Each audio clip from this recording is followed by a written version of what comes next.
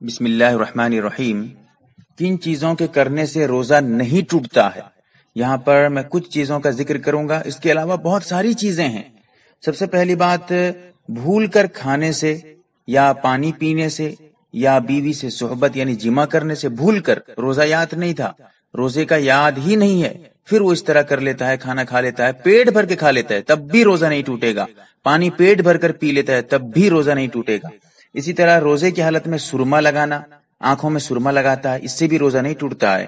اور بدن میں یا سر وغیرہ میں تیل لگاتا ہے، اس سے بھی روزہ نہیں ٹوٹتا ہے۔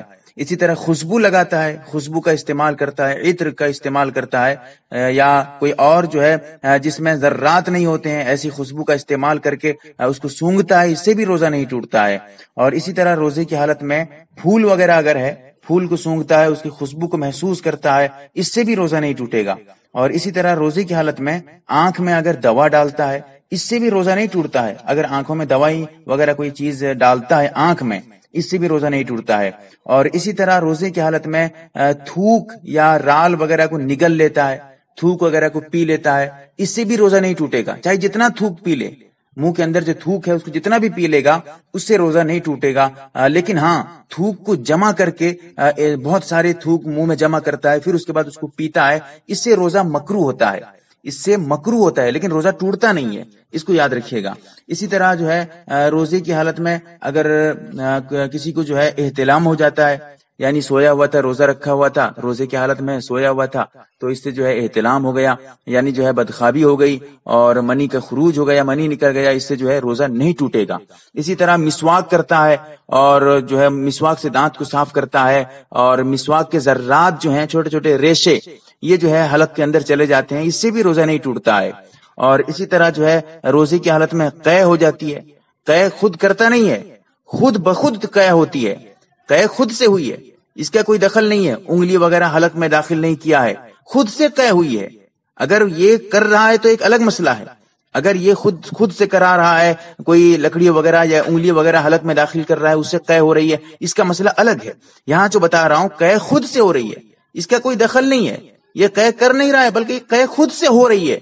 تو اس صورت میں جتنی مرتبہ قے ہو جائے، چاہے منہ بھر کے ہو یا بغیر منہ بھرے، جتنی بھی قے ہو جائے، اس سے روزہ نہیں ٹوٹے گا، اس سے روزہ فاسد نہیں ہوگا۔ اسی طرح روزے کی حالت میں بیوی سے بوس و کنار کرنا بیوی کو جو ہے پیار سے محبت کرنا، اور اسی طرح جو ہے بیوی کو چومنا، اس سے اگر جو ہے ایسا کر رہا ہے اور اس سے جو ہے انزال ہوا نہیں ہے اس سے منی وغیرہ خارج نہیں ہوا ہے، تو اس سے بھی روزہ نہیں ٹوٹے گا۔ اگر منی خارج ہو جائے تو مسئلہ الگ ہے، اس کے لیے میں نے مستقل ویڈیو بنائی ہے، اس کو دیکھ لیجیے گا۔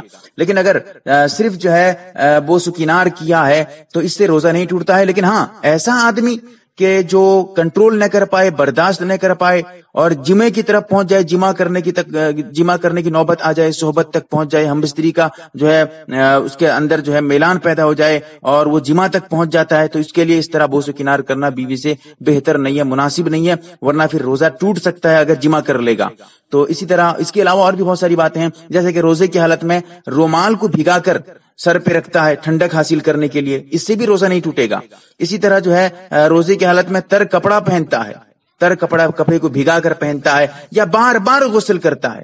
ایک ایک گھنٹہ، دو دو گھنٹہ غسل کرتا ہے، پھر بھی اس سے روزہ نہیں ٹوٹے گا۔ اسی طرح روزے کی حالت میں ناخن کاٹتا ہے یا بال کاٹتا ہے۔ اس سے بھی روزہ نہیں ٹوٹتا ہے۔ اسی طرح جو ہے روزے کی حالت میں ٹی وی وغیرہ دیکھتا ہے یا کوئی اور جو ہے گانے وغیرہ یا فلم وغیرہ دیکھتا ہے، اس سے روزہ نہیں ٹوٹے گا۔ لیکن ہاں مکرو ضرور ہے۔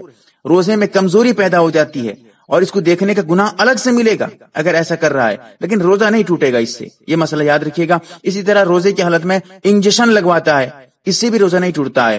اور خون نکالتا ہے، نکلواتا ہے۔